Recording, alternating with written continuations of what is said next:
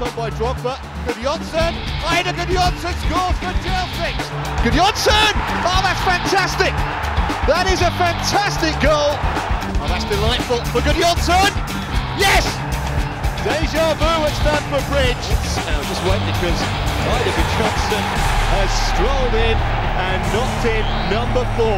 It's almost too easy, this. Chelsea try and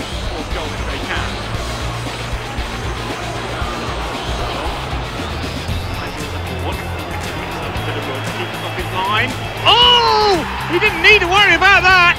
In off the crossbar. Dennis Wise, 4-2 to Chelsea.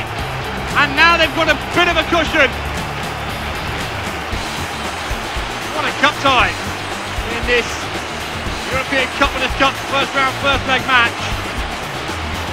Furlong um, with Wise. The keeper was not the best place. Wise uh, made no mistake in off the crossbar. Great finish from James. So Chelsea back in Europe and his Thursday nights are back with a bang.